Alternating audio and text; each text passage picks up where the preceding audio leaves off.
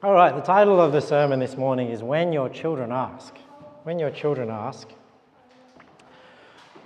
When your children ask. So, if you've noticed as we read through Deuteronomy 4, like it's so easy for us to forget about God, forget to do the things of God, and um, sometimes God puts things in our lives to, you know, remind us of things and also to show our children. So, when our children ask us why we do things, we have an opportunity teach them about the things of God.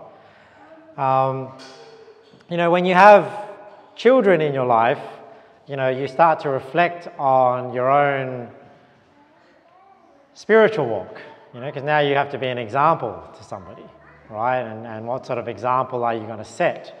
So that's the theme of the sermon this morning is I want you to reflect on your own spiritual walk and your own priorities and things like that.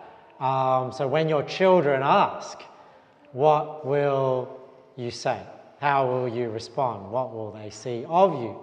And even if you're somebody without children, you know, this is why sometimes Christians in their life don't grow spiritually because they're not open enough about their faith. They don't go soul winning, they don't talk to people about Jesus. People don't know that they're a Christian. You know, but part of healthy spiritual growth is that you are bold in your testimony and bold in your witness people know you're a Christian, because that somewhat keeps you accountable too. So even if you don't have children that are maybe watching you and following after your example, wondering why you do things, they may be unbelievers questioning why you do certain things. And this is why I think in John 15, when the Bible talks about believers bearing fruit, that the branches that attempt to bear more fruit, God purges. And you'll notice that in your life that when you try and start living for God, you start trying to share the gospel, you start, start trying to do things right, you start thinking more about the things that you do and the testimony you leave and the example that you set. But then when people start backsliding and they don't care about, they stop, they, they're a bit more of a hidden Christian, they don't care so much about the things that they do and it's a cycle the other way. So, the title of the sermon is When Your Children Ask. And what I wanted to go through this morning is I wanted to show one, that God wants us to be diligent about teaching the things of God to our children, to the next generation. And we all play a part in that. And I wanted to show some examples in the Bible where God sets up ordinances, He sets up memorials, and He uses those to teach the next generation. Right? So, firstly, that's, that's the first section of this sermon this morning, is we need to diligently teach our children. Diligently teach your children. And even if you don't have children, we still want to be diligent about teaching the next generation of Christians, being a good example to other Christians, even though we don't have children. Right? So, where we read in Deuteronomy 4, look at what the Bible says here. Behold, I have taught you statutes and judgments, even as the Lord my God commanded me, that you should do so in the land whither you go to possess it. Keep therefore and do them, for this is your wisdom and your understanding in the sight of the nations, which shall hear all these statutes and say, Surely this great nation is a wise and understanding people. Right, you see how after they do them, all right, they're going to hear them and they do them, and then, then people will look to them and say, Look, surely this is a great nation is a wise and understanding people. For what nation is there so great, who hath God so nigh unto them as the Lord our God is in all things that we call upon him for? And what nation is there so great, and hath statutes and judgments so righteous as all this law which I set before you this day? So, is it enough to have God's laws? Is it enough to be doing them yourself? No, he goes on, verse 9 only take heed to thyself. So obviously, it starts with you. It starts with you making sure you're doing them, making sure you know them and understand them, and making sure you understand that they are these great laws and commandments and statutes, right? So take heed to thyself and keep thy soul diligently, lest thou forget the things which thine eyes have seen, and lest they depart from thy heart all the days of thy life. But teach them thy sons and thy sons' sons. See, so we have to be diligent ourselves and then be diligent about teaching them to thy sons and thy sons' sons. Now, unfortunately, many Christians are not diligent about the things of God, and they're not diligent and taking heed to themselves. And you know, you see it in your own life. You start to forget the things which thine eyes have seen, lest they de- and they'll depart from your heart. And if you're not careful, they may, you may forget them and they depart from heart all the days of your life, and then you don't end up teaching your sons and your sons' sons. Deuteronomy 6, so there's two chapters later, and this is a chapter. We, I want to read the whole chapter because, like we read through all of Deuteronomy 4, there's a similar theme through Deuteronomy 6 too. Now, these are the commandments, the statutes, and the judgments which the Lord your God commanded to teach you, that you might do them in the land whither you go to possess it. That thou mightest fear the Lord thy God to keep all his statutes and his commandments which I command thee, thou and thy son and thy son's son, all the days of thy life, and that thy days may be prolonged. See, back then, you know, it may be, it may be alluding to like physically prolonging the days, right? Because when they did it, God's judgment came on them and you know, there was laws about cleanness and just righteous living and things like that. But when I think about the application in the New Testament, you know, obviously we don't do this to be saved, so it's not talking about salvation. But I do think about it in terms of leaving that Christian legacy. So, you know, like if we do not keep the statutes, we're not diligent about keeping the statutes, we're not diligent about teaching our children, will we prolong the days of fundamental Bible believing Christianity.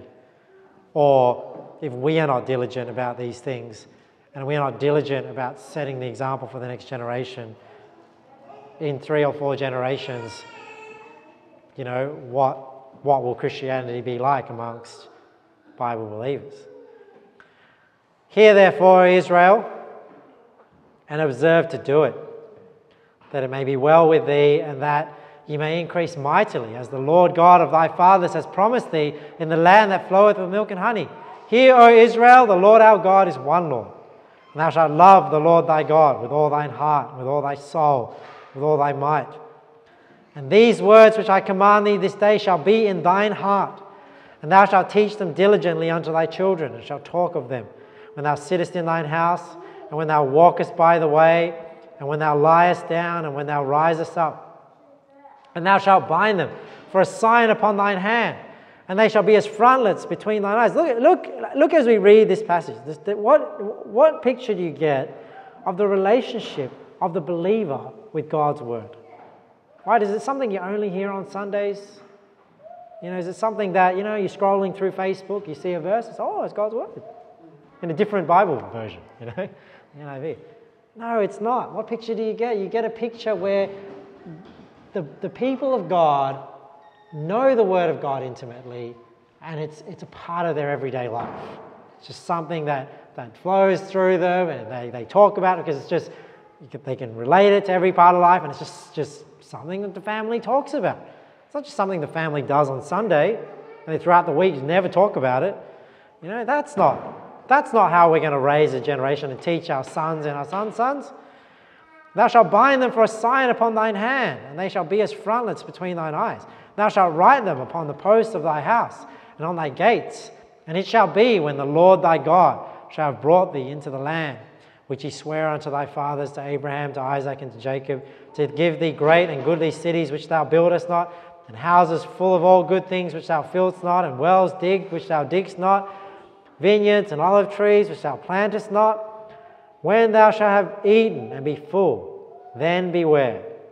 What is he talking about? See, once God blesses you with prosperity and you don't take heed to yourself and to God's word, then beware lest thou forget the Lord, which brought thee forth out of the land of Egypt from the house of bondage. See, see God knows the gravitational pull of sin that we are against.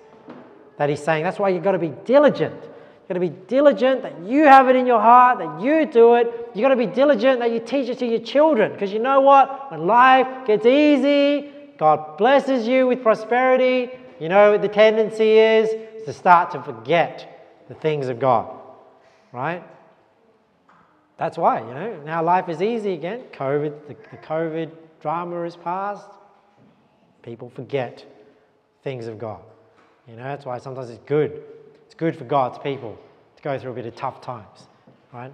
Makes them consider the things of God. And that's why God has to bring them through tough times. That's why, why do you think God is constantly bringing chastisement on the nation of Israel, judgments and things? Because they forget about God. And if He doesn't, then this is what happens. Thou shalt fear the Lord thy God and serve him, and shalt swear by his name. He shall not go after other gods, of the gods of the people which are round about you. Now, many times in the Old Testament, God talks about them going after other gods and idolatry. And what I want you to think about this morning is that, yeah, maybe we don't put a statue of an elephant in our house or build some graven image and bow down to it. But Remember, covetousness, the Bible says, which is idolatry. And that often becomes the first world idol, which is just living your life for money and for comfort, for pleasures of this life. Right? That becomes our God and not the God of the Bible. For the Lord thy God is a jealous God among you, lest the anger of the Lord thy God be kindled against thee and destroy thee from off the face of the earth. So you know, you don't want to take this too literally in the Old Testament because in the New Testament because we have the Old Covenant. Remember, so it's alluding to these things as well. So physically, yes, the nation was judged, but spiritually, it's alluding to the Old Covenant, right? But that doesn't mean that we are not exhorted by Old Testament scriptures to live right, right? And we are exhorted by, by our loving Heavenly Father. So the attitude here from God is a little bit different as well, right? Because it's a bit of black and white, blessing and cursing. So, what I want you to take as we read through this passage is not the attitude of God towards you if you do not live the way we ought. What we want is we want the, the exhortation to live right. We don't want to disappoint our Heavenly Father who loves us. Right? So just be, be, be cognizant of that as we read through Old Testament passages. You shall not tempt the Lord your God as you tempted him in Massah. You shall diligently keep the commandments of the Lord your God and his testimonies and his statutes have commanded, which he hath commanded thee. So remember, you know, when your children ask, this is what it's about. This is, this is why I'm going to these passages, right? About diligently keeping God's word so we can be a great example for the next generation. And thou shalt do that which is right and good in the sight of the Lord, that it may be well with thee, that thou mayest go in and possess the good land which the Lord sware unto thy fathers. So, like in the Old Testament, you know, it's about, you know, possessing land, inheritance, physical land that God has given them. I think about spiritually, like God has given us things to claim, like making ground spiritually. But then if we don't live diligently, we don't teach our children, we start losing that ground spiritually, if that makes sense. So that's what I think about, like with this war with the people of the land. Like if they do right and they obey the commandments of the Lord, they, they conquer. They start, their influence starts to spread physically. And the way I see that, like I said, the New Testament is if Christians live righteous, if Christians are diligent, if Christians are diligent about teaching the next generation, being a good example to people in the church and other Christians, we will gain more ground, right? to cast out all thine enemies, verse 19, before thee, as the Lord hath spoken. And when thy son asketh thee, remember when, thy, when, when your children ask? When thy son asketh thee in time to come, saying, What mean the testimonies and the statutes and the judgment which the Lord our God hath commanded you? See, you think about the time when one day, you know, a lot of you have very young children. Maybe they're not asking you these questions, but one day they will, right? They're going to ask you, Hey, what what mean the testimonies and the statutes and the judgments of the Lord? What are you going to answer them when your children ask you? Then thou shalt say unto thy son, We were Pharaoh's bondmen in Egypt, and the Lord brought us up, brought us out of Egypt with a mighty hand. The Lord showed signs and wonders, great and sore upon Egypt, upon Pharaoh, upon all his household, before our eyes. See, there, there's our opportunity to teach your children the things of God. You've got to be ready to to know these things, that you don't forget these things. Because he says, if you're not diligent, you don't keep these things in your heart, you're going to forget and you won't be ready to teach your children and for them to take you seriously. And he brought us out from thence that he might bring us in to give us the land which he sware unto our fathers. And the Lord commanded us to do all these statutes, to fear the Lord our God, for our good always, that he might preserve us alive, as it is, as at this day.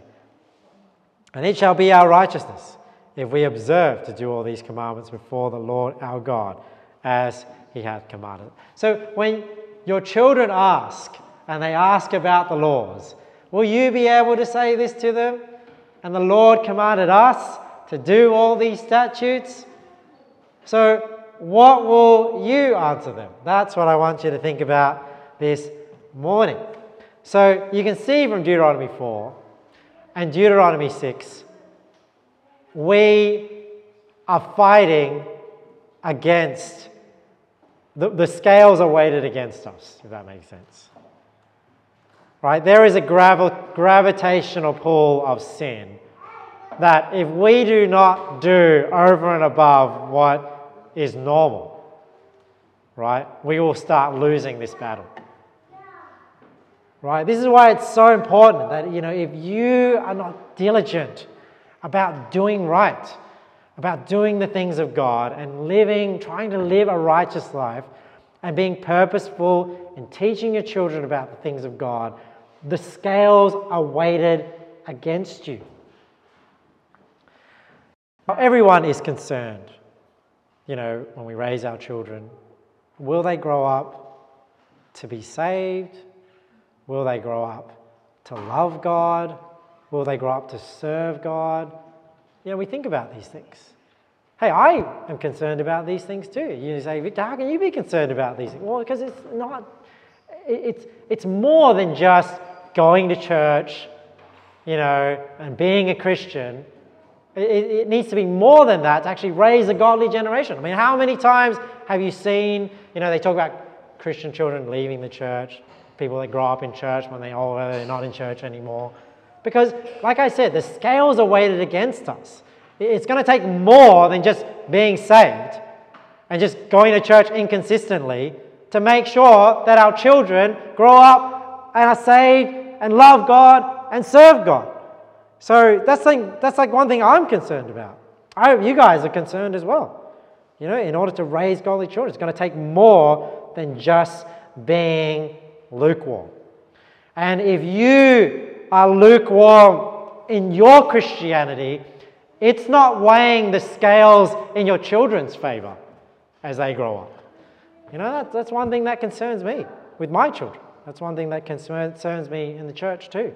You know, that's why we've got to be serious about these things. And that's the thing we see in Deuteronomy 4, Deuteronomy 6. Do we take the things of God seriously?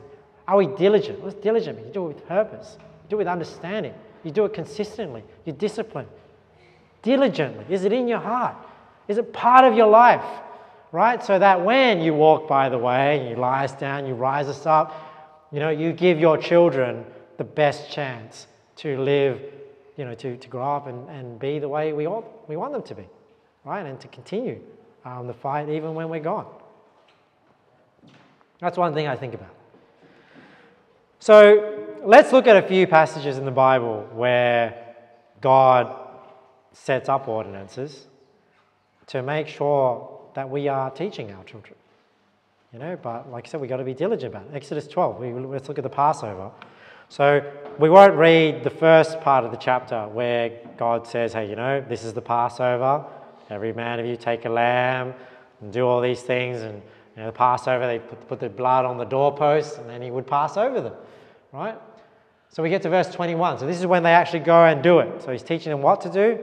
Then Moses called for all the elders of Israel and said unto them, Draw out and take you a lamb according to your families and kill the Passover. And ye shall take a bunch of hyssop and dip it in the blood that is in the basin and strike the lintel and the two side posts with the blood that is in the basin. And none of you shall go out at the door of his house until the morning. For the Lord will pass through to smite the Egyptians, and when he seeth the blood upon the lintel and on the two side posts, the Lord will pass over the door and will not suffer the destroyer to come in unto your houses to smite you. And ye shall observe this thing for an ordinance to thee and to thy sons forever. And sometimes I think about the night of the Passover, like in Egypt. And, you know, it would have been a hard thing to believe, right? Like to, to think, oh, this curse is coming. And every, you know, and, and the Egyptians just had no idea what was about to hit. And you know, when you read through the, the chapter in Exodus 12, it's like this great cry through all of Egypt. And you can, you can imagine. I mean, imagine you know, even today, just you know, the, the weeping that you would hear through the streets if everyone woke up and, and there was not one dead in every household. Uh, it's, a, it's, a, it's a crazy thing, you know, I, I sometimes think about. It was, uh, it was, quite, a, it was quite, a, quite, a, quite a judgment that went through Egypt, but, you know, they, you know, they, they should have, all they had to do was, uh, you know, have blood on their doorposts, you know, to be saved from that judgment. That's a great picture of salvation. And you shall observe this thing for an ordinance to thee and to thy sons forever. And it shall come to pass, when you be come to the land which the Lord will give you, according as he hath promised, that ye shall keep this service. And it shall come to pass, when your children shall say unto you, What mean ye by this service? That ye shall say, It is the sacrifice of the Lord's Passover, who passed over the houses of the children of Israel in Egypt, when he smote the Egyptians and delivered our houses, and the people bowed the head and worshipped. The children of Israel went away and did as the Lord had commanded Moses and Aaron, so did they. So we see the Passover is one of the ordinances that was given by God to remember, you know, when they came out of Egypt. And it's very interesting that the way they came out of Egypt, you know, when you read through the Passover story, they ate the Passover. He said, make sure when you eat the Passover, you have your shoes on because they immediately were going to leave out of Egypt. You know, so they had to be ready. And then when they left, they asked to borrow things from their neighbors. And God gave them favor in the eyes of their neighbors, and their neighbors gave them more over in abundance what they needed. And then that's how they spoiled the Egyptians, you know. So they went out with, you with things and, and many things as they went out of Egypt. Exodus 13 is the next chapter over. And it shall be, so this is another ordinance that they were given, it was a sacrifice. And it shall be when the Lord shall bring thee into the land of the Canaanites, as he sware unto thee and to thy fathers, and shall give it thee, that thou, shalt, that thou shalt set apart unto the Lord all that openeth the matrix, and every firstling that cometh of a beast which thou hast, the males shall be the Lord. So this is like the firstborn. When it says open as the matrix, like the first child that any animal has, the first child that any uh, lady has. And every firstling of an ass thou shalt redeem with a lamb, and if thou wilt not redeem it, then thou shalt break his neck, and all the firstborn of man among thy children shalt thou redeem. So there were some sacrifice, sacrifice laws um, surrounding um, the firstborn. And this is even prior to the Levitical priesthood, right? And it shall be when thy son asketh thee in time to come, saying, What is this? That thou shalt say unto him, By strength of hand the Lord brought us out from Egypt, from the house of bondage. So again, another situation where God knows, hey, I want you to be ready. I want you to be able to teach your children. When thy son asketh thee in time to come, saying, What is this? Thou shalt say unto him, By strength of hand the Lord brought us out from Egypt, from the house of bondage. And it came to pass, when Pharaoh would hardly let us go, that the Lord slew all the firstborn in the land of Egypt, both the firstborn of man and the firstborn of beast. Therefore I sacrifice to the Lord all that openeth the matrix, being males, but all the firstborn of my children I redeem. And it shall be for a token upon thine hand and for frontlets between thine eyes, for by strength of hand the Lord brought us forth out of Egypt. So we see here two ordinances that God has instituted, right? A sacrifice with the Passover and another sacrifice to redeem the firstborn. Because he knows, hey, well, if we do these things, then children will ask. So what I want you to reflect on with these passages is See, what if you don't do the things that is required in Christianity? You know, these are just two examples of things and ordinances that God set for the nation. But think about the statutes, the commandments. You know, what if you don't read your Bible? You know, what if you never pray in your house? Will your children even ask you these things? What if you don't go soul winning ever and you never preach the gospel? You know, will you have these opportunities to teach your children why you do these things? And will you have any clout when you explain it to them when you don't do it yourself? You know, it's like, yeah, this is why they do these things. And there your children are thinking, well, why don't you do them? That's what children think. You know, and I, I think us growing up probably thought the same thing with our parents when our parents said one thing but did another. Didn't have less impact on you the values that your parents might have tried to teach you if they weren't consistent with the things that they believed, the things that they said were good to do. right? So this is what I mean by you are weighing the scales against them. So we have things like this in the New Testament too. This is what communion is when we break bread. For I have received of the Lord that which also I delivered unto you, that the Lord Jesus, the same night in which he was betrayed, took bread. And when he had given thanks, he brake it and said, Take, eat, this is my body which is broken for you. This do in remembrance of me. After the same manner also he took the cup when he had supped, saying, This cup is the New Testament in my blood. This do ye as oft as you drink it in remembrance of me.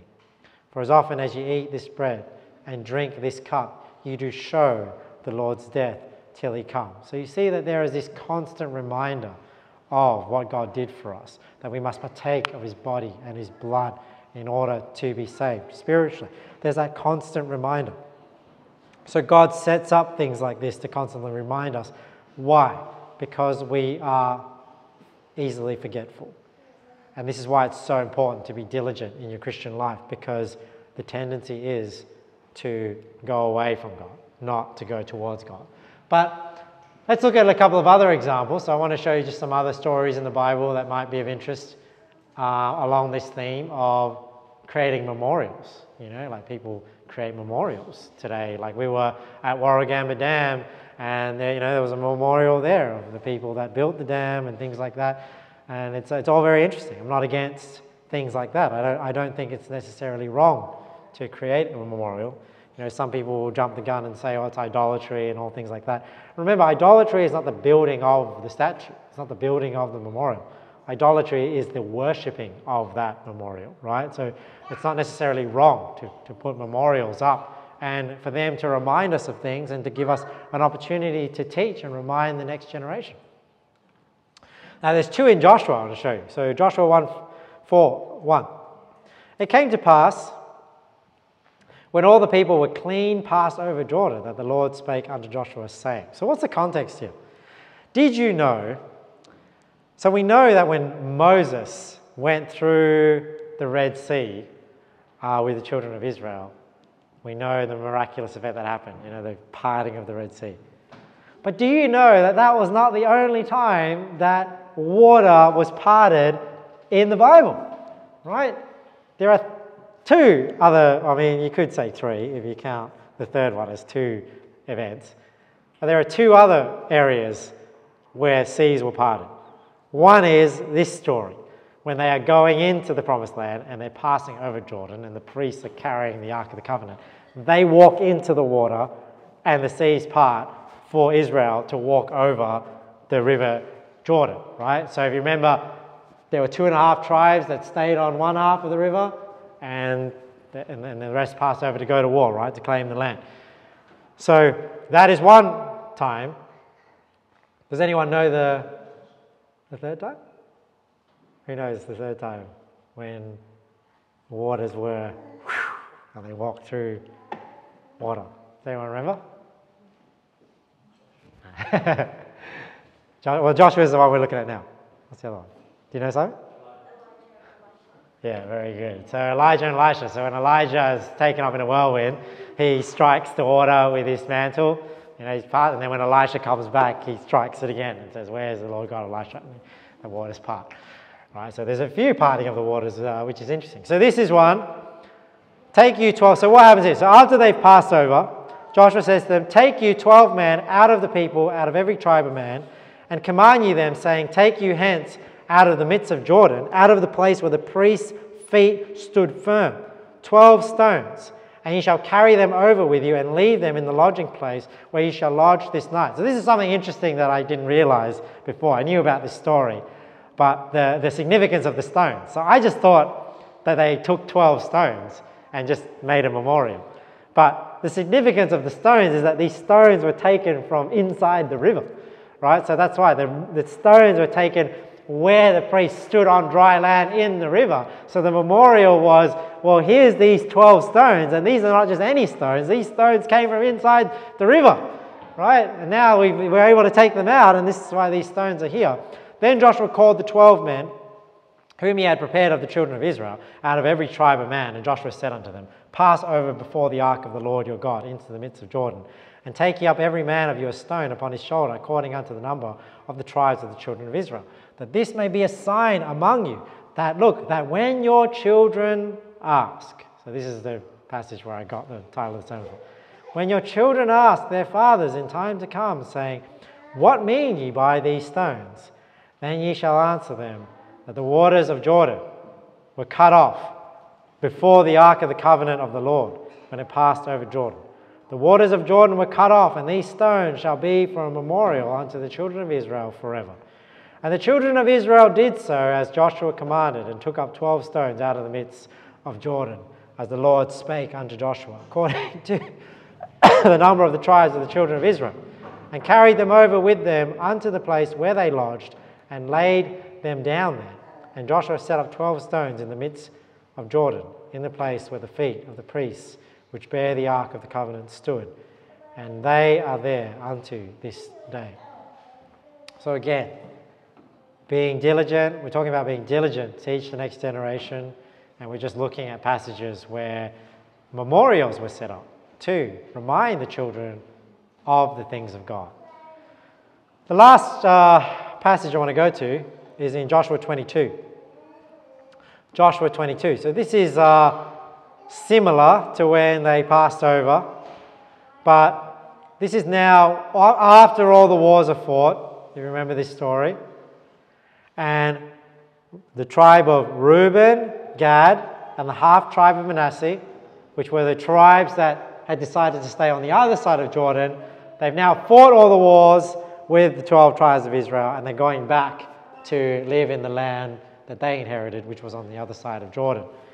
Then the children of Reuben and the children of Gad and the half tribe of Manasseh answered and said unto the heads of the thousands of Israel, The Lord God of gods, the Lord God of gods, he knoweth and Israel he shall know, if it be in rebellion, or if in transgression against the Lord, save us not this day. So, why are they responding this way? Because they built an altar, and the rest of the tribes of Israel came out to war against them because they thought they had built this altar to sacrifice unto the Lord in a place where God had not permitted them, right? And bring wrath on all the nation of Israel. But they explain that we have built us an altar well, they're saying we haven't done it this, this, that we have built, we haven't, to build us an altar, to turn from following the Lord. Or if to offer thereon burnt offering or meat offerings, or if to offer peace offerings thereon, let the Lord Himself require it, saying, Hey, if we've done it for the wrong reasons, then let God judge us. But if we have not rather done it, no, this is the reason why we've done it, for fear of this thing, saying, In time to come, your children might speak unto our children, saying, What have ye to do with the Lord God of Israel. You see how they had a mindset of what's going to happen down the line? What's going to be the next generations? What are they going to behave like? What are they going to ask? What are they going to know? And that's what I'm asking you to think about this morning when your children ask Do you have a mindset of what spiritual legacy we're leaving for the next generations? That's why it's going to matter how you live, and how it matter what you know, and what you do, and how diligent you are. For the Lord hath made Jordan a border between us and you, ye children of Reuben and children of Gad. Ye have no part in the Lord. So shall your children make our children cease from fearing the Lord. You know, because, you know, what if one day your children don't live in the same city you live? What if they move countries? What if they live somewhere else? You know, what will you have left with them? Therefore, we said, Let us now prepare to build us an altar, not for burnt offering, nor for sacrifice but that it may be a witness between us and you and our generations after us, that we might do the service of the Lord before him with our burnt offerings and with our sacrifices and with our peace offerings, that your children may not say to our children in time to come, Ye have no part in the law. Therefore said we, that it shall be when they should so say to us or to our generations in time to come, that we may say again, Behold the pattern of the altar of the Lord, which our fathers made not for burnt offerings nor for sacrifices, but it is a witness between us and you. God forbid that we should rebel against the Lord and turn this day from following the Lord to build an altar for burnt offerings, for meat offerings, and for sacrifices beside the altar of the Lord our God that is before his tabernacle. And when Phinehas the priest and the princes of the congregation and the heads of the thousands of Israel which were with him heard the words, the children of Reuben and the children of Gad and the children of Manasseh spake, it pleased them. So that was another example of setting up a memorial, using that memorial as an opportunity to teach the next generations and remind the next generations of the truths of God. So, in closing, let's just uh, bring it all back to the period of time we are right now, you know, and tying it into Christmas celebrations. Should Christians celebrate Christmas? Well, I think it is a matter of conscience, right? It's a matter of convictions on what you want to do. Romans 14:5. I think this is the verse that best is applicable to celebrating or doing things, traditions that are outside of the Bible, you know, that are not mentioned in the Bible for us to do. One man esteemeth one day above another, another esteemeth every day alike. Let every man be fully persuaded in his own mind. He that regardeth the day regardeth it unto the Lord, and he that regardeth not the day to the Lord he doth not regard it. He that eateth, eateth to the Lord, for he giveth God thanks, and he that eateth not to the Lord, he eateth not and giveth God thanks. Right? So, should Christians celebrate Christmas? Well, I think it's up to the individual choices of every Christian. Like every Christian can decide whether they do it. But one thing I wanted to say, and why I'm preaching this sermon, is one, you know, I wanted to encourage you guys to be diligent about your spiritual life and make sure we teach the next generations and live a life where we weigh the scales in our favor because the scales are weighed against us. But also as a reminder of this time as we go about our holiday celebrations, that whenever we do things for the Lord, it should be an opportunity and a reminder to teach the next generations about the Lord. Right? So when your children ask, why do you do these things? Do you have a good reason? And this is why, you know, if you're going to celebrate Christmas holidays, make sure you make it about Jesus. Right? Because you don't want to celebrate holidays and then your children ask, hey, why do we celebrate holidays? And you say, well, it's because of family. And, you know, that might be a noble thing, right? But is that the reason why we celebrate Christmas? Is it just about spending time with family? right? And things like that. No, it's to remember Jesus Christ coming in the flesh. And then we're, you know, that's the whole idea of the holiday. Was, you know, if you even want to celebrate it, it's meant to be a reminder Jesus Christ was born. Our Savior came in the flesh. The mystery, the great mystery, happened 2,000 years ago that God was manifest in the flesh. Right? It's the same with Easter. And this is why I would discourage you from celebrating Christmas in a way that has nothing to do with Jesus. You know, and I say this probably every year that Christians ought not to celebrate Christmas with Santa Claus hats and elf cookies and all this stuff, putting reindeers outside their house. Hey, you want to participate in Christmas lights? Why put Santa Claus and elves and reindeer outside? You know, why don't you put at least a cross you know, put something about Jesus outside. You know, so let's not get carried away with how the world celebrates Christmas, and let's not even adopt those practices. So when our children ask, Mom, Dad, why do you wear a Santa Claus helmet? Oh, helmet, oh, uh, hat. You know, like, what are you going to say to them? You know, why are we always buying elves and things like that? You know, this is why I try and discourage you guys, you know, and I, I try not to be too hard on people that like are new to our church and maybe don't know, you know, my stance on Christmas and Easter, and maybe they bring things like that during the whole festive season. But I would say don't. You know, don't come to church in Santa hats and things like that because I don't want that to be what my children remember about Christmas. I don't want what they remember about Easter to be chocolate bunnies and Easter eggs. That has nothing to do with the death burial, and resurrection of Jesus Christ. So, if we're going to remember these holidays and we're going to celebrate these holidays, let's use them as an opportunity to teach our children. So, when our children ask, What mean you by these stones? Uh, you can use that as an opportunity to teach them about the things of God. All right, let's pray. Lord, we thank you for uh, your word. We thank you that you, you have provided us ordinances in the word like baptism and communion, so that we don't forget. But Lord, help us, you know, these, these holidays once a year is not enough to make sure that we raise a godly generation. Help us, Lord, to be diligent. Take heed to ourselves and to your commandments. So, Lord, we can win this battle against sin and against Satan. We pray in Jesus' name. Amen.